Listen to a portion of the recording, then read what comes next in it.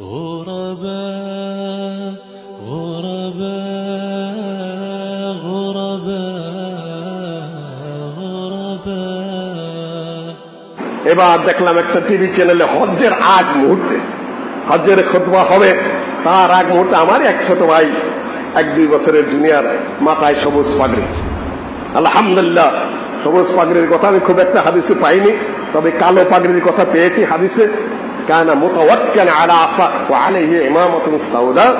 সাদা পাগড়ির কথা পাওয়া যাচ্ছে। এখন শুনছি সবুজ পাগড়ির কারণ হলো যে আল্লাহ নবীর যে কবর, কবরের উপরে গম্বুজটা সবুজ রঙের। এই জন্য সবুজ রঙের। আমি বলি, আল্লাহর নবীর এই কবরটা আল্লাহ পাক বানিয়েছেন। আল্লাহ নবী বানিয়েছেন। সাহাবিরা বানিয়েছেন। এতদিনে তুর্কি শাসকরা যখন কাবার শাসনভার নিয়েছিল অনেক সেরেক বেদাতের নিয়োজিত ছিল। সেখানে কাওয়ালি গানও হতো আল্লাহ নবীর কবরের ওখানে। ওই সময় তারা কাবার ঘরের এবং মদিনার মসজিদের বিল্ডিং তারা তুর্কিরা করেছে। কবরটা বানিয়েছে তুর্কি শাসকেরা। তারা কবরের উপরে সবুজ গম্বুজটা বানিয়েছে। এখন ওইটা আপনার জন্য শূন্য হলো।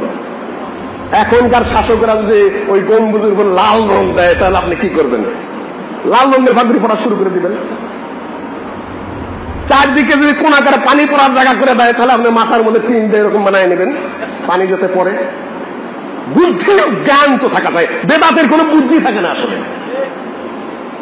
এই জন্য সুফিয়ান সৌরি রবি বলেছেন যে শয়তান কাফের চেয়ে বেদাতের উপর বেশি খুশি। আমি কিন্তু কারও নাম কিছু বলছি না। কেন? যে কাফের মোশেকের হেদায়ত হওয়ার সম্ভাবনা আছে। বেদাতির হেদায়ত হওয়ার সম্ভাবনা খুব কম থাকে। কেন ও যেটা করে, মনে করে যে এইটাই সুন্নতি, এটাই সবের কাজ। কাজেই তার পরিবর্তন হওয়ার সম্ভাবনা অনেক কম থাকে। সবুজ রঙের পাগড়ি আপনি মাথায় দেন, কোনো কিছুই যায় আসে না। আলহামদুলিল্লাহ। আল্লাহ কবুল করেন, সুন্নতের উপর আমল করলেন। কিন্তু রংটা যদি আল্লাহ নবীর কবরের উপরে গম্বুজের রঙের সাথে মিলিয়ে নেন তাহলে আপনাদের মতো আহাম্মক, নির্বোধ আর দুনিয়ায় নাই। কেন ওই রং আল্লাহ দেন নাই? ওই রং নবী সাল্লাম দেন নাই? এতদিনে তুর্কি শাসকেরা কবরের উপর সবুজ রং দিচ্ছেন বর্তমান শাসকেরা লাল রং দেন, তা আপনি কি করবেন? উপরে যে টিন বসাবেন আপনি মাথায় টিন দিবেন, না হরণ বসাবেন, দিল দাঁড়ালের মতো চানাচুর বেচবেন একটা কিছু মাথায় দেয়া। সম্মানিত ভাই, বুদ্ধিমত্তার সাথে কাজ করুন।